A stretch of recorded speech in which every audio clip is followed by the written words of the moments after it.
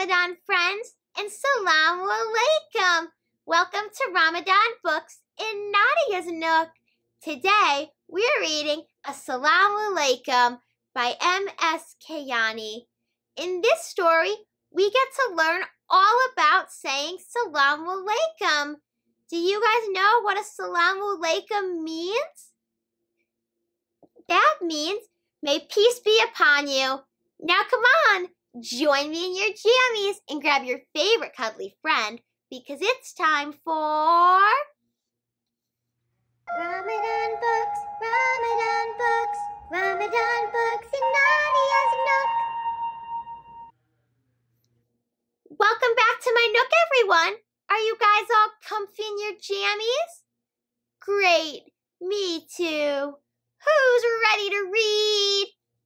Bismillah, let's begin. Assalamu alaikum by M.S. Kayani. My name is Abdullah, and my name is Amina. We are Muslims who believe in Islam. That is our faith, and Islam is our way of life. Islam means peace, and it shows us how to live in peace. Allah has given us Islam so that we live in peace with Him and everyone around us. Muslims pray for peace for all people, animals, and plants. We live in peace with them all, inshallah, says Abdullah. Yes, we are Muslims and want to live in peace with everyone, says Amina. All Muslims are like one big family. They love each other and are kind to each other. They pray for their Muslim brothers and sisters. When we meet other Muslims, we say Assalamu alaikum to them, says Amina. It means peace be upon you, says Abdullah. Muslims say Assalamu alaikum when they leave each other as well. When I say Assalamu alaikum to Amina, says Abdullah, I say Wa alaikum assalam back to Abdullah, says Amina. This means, and peace be upon you too. This is like a prayer to Allah, to ask Him to bless each other, to bring peace so that we are happy. We like being Muslims because Islam helps us every day.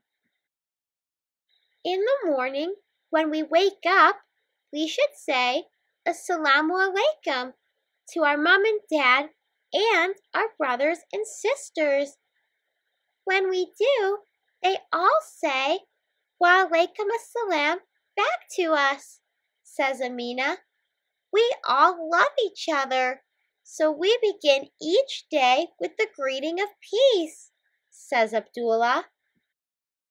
When Dad leaves the house, he calls out, Assalamu alaikum to us, says Abdullah. And we reply, Wa alaikum assalam to him, says Amina. Peace be with you, and peace be with you too. We both love Dad, so we pray to Allah to bless him, say Abdullah and Amina. And Dad loves us too, so he prays to Allah to bless us as well. When we leave the house to go to school, we say Assalamu alaikum to mom and our brothers and sisters, say Amina and Abdullah. And I reply, Wa alaikum assalam to them, says mom. Peace be with you all, and peace be with you too. When we come back from school, we greet everyone with Assalamu alaikum as we go into the house, says Abdullah.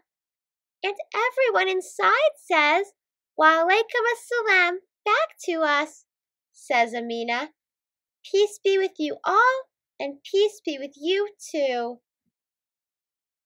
Muslims always say Assalamu alaikum when they meet or leave each other. We always pray for each other and wish each other peace and happiness.